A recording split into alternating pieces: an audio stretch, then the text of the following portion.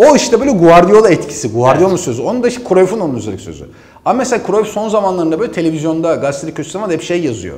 Ya benim o zamanlar e, söylediğim sözleri alıp böyle kanunmuş gibi Yazıyorlar. sanki bir emirmiş, göklerden gelen bir emirmiş gibi Herkes yazıyorsunuz da abi. ben onu 92'de söylemişim böyle. Sonra ne olmuş? Mesela 94'teki finali 4-0. Şimdi olsa böyle oynatmazdım Evet. diyor Milan'a. 4-0 evet. 4-0 bir şey Milan'da da eksikler vardı işte. Kafadan bir kere baresi yoktu ya. Evet. Franco Baresi yok. O zaman en iyi savunmacısıydı dünyada yani. Capello hocam mı vardı Milan'ın başında? Evet. Kap- değil mi? evet. Değil mi? Marcel Dözay'ı orta sahada oynatıyordu. Hepsi bak mecburiyetten bazıları tercihen. Mesela Dözay'ı orta saha oynatıyordu gerçekten. O maçta gol de attı da Cruyff onu anlatmaya çalışıyor. Bazen maça özgü İşler yapmaya şartlar vardır. Hayır diyor benim asıl olayım diyor taktiksel esnekliktir diyor. Bak oyun oyun felsefesi başka bir şey. Oyun formasyonu başka, bir şey. Bunu anlatmaya çalışıyor. Cruyff'un alınabilecek tek e, kanun sözleri 14 maddelik bir e, altyapı, bütün altyapılara asılacak olan o Cruyff'un Ya 14 tabii maddesidir. O, onlar kadar. ilkeler, Başka şey. oyuncu İlke, o geliştirme ilkeleri. bahsediyor. O Tabii. başka bir şey. Başka bir şey. Maç akışıyla teknik direktörlükle alakalı işte Brandon Rodgers Hoca bak yine kendi içine tutarlı oyun stratejisi olarak yine orada bir Vardy vardı. Evet.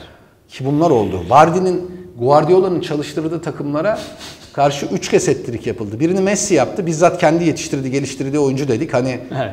Guardiola'nın Besle Messi'yi oysun gözünü falan ama bu Vardy'yi o yetiştirmedi. Alt liglerden geldi falan ama Brandon Rodgers'ın tutarlı oyun felsefesi. 2014 sezonu Suarez, Sturridge arkalarında Sterling'i ikinci yarıdan itibaren monte edip hızlı çık, boşluğu buldun mu affetme. Eşittir Vardy. Vardı esasında şey gibi ya değil mi? Fenerbahçe'ye sürekli gol atan Altaylı Sinan Kaloğlu gibi yani.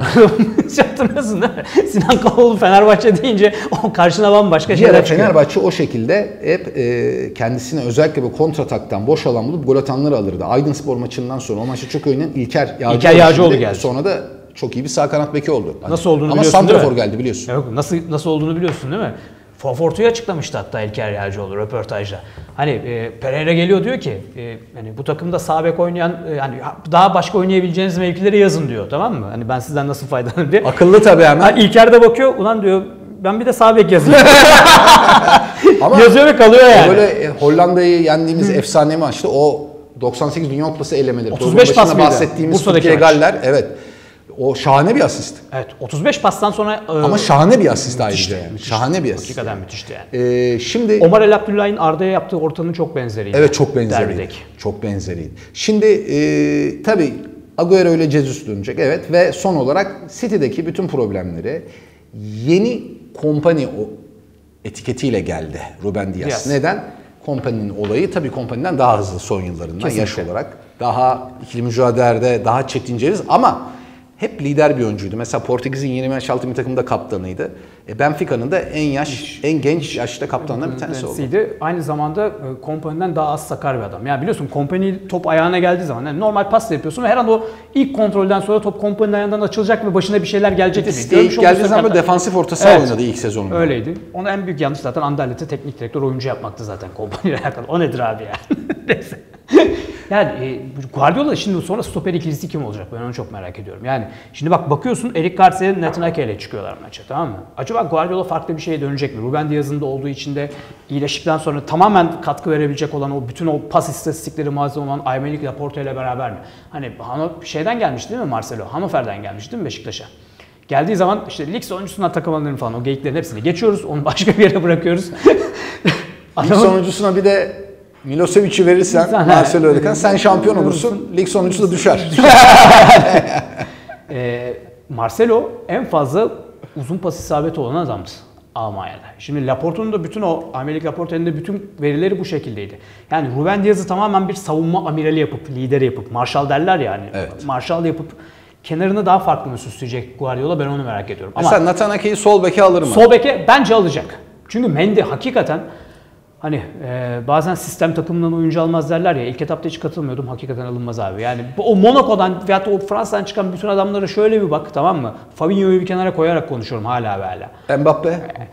Yok yok ben o Monaco'da falan kurulu Tamam işte var takım. şey, takım Mbappe yani Mbappe Falcao çift santrafor. Bernardo Silva sağda. Sağda. Sol bek Mendy. Me- Mendy, e, Fabinho, Fabinho. işte Fabinho var. Bakayoko orta saha. Bakayoko. Bak, Bakayoko geçerli. Bakayoko, evet. Milan'da da olmadı. Evet. Chelsea'de de olmadı. Doğrudur. Doğru. Fabinho oldu. Fabinho oldu. Ama Fabinho Monaco'da bir sene önce sağ bekti misal. Evet sağ bekti abi. Yanında da e, Şamil Glik, Şamil Glik diyorum ben Şamil ya, vardı ya, Kamil Şamil, Glik, Kamil Glik.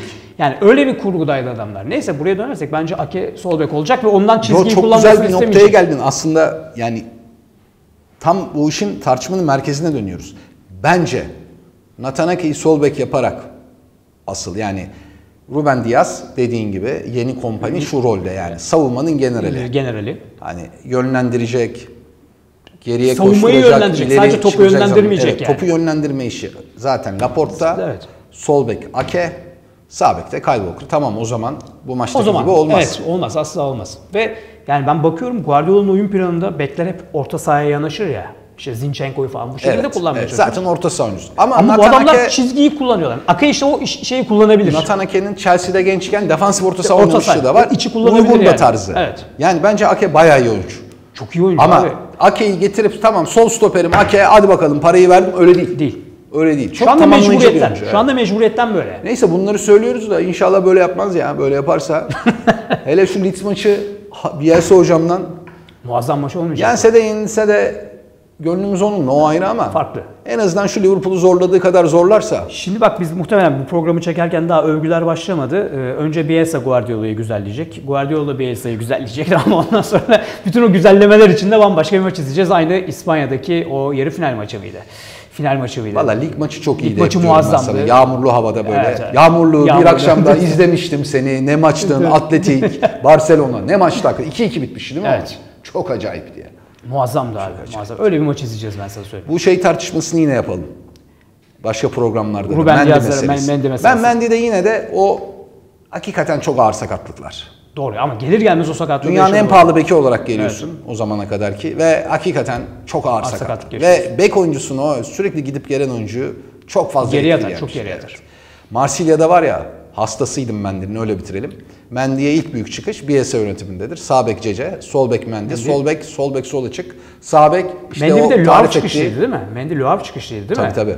E, yanlış Zaten hatırlamıyorsam. Luav Luav, zaten öyle bir çıkışlı bir Payet. vardı. Kaleci Mandan da hala bir hayrını görüyoruz. Aslında Marsilya'da falan hiçbir numara yok. Ne varsa Le Havre diye Le Havre diye söze girip başlamışlar deyip Le Havre ve la. Öyle bitirip başlamışlar ya. Bu fanatik iddiada abi bunların hatırladığı başlıklar vardı. Vardır ya böyle komik komik yani bu hafta işte falan. O Le Havre falan. abi tartışma olur mu olmaz mı falan filan.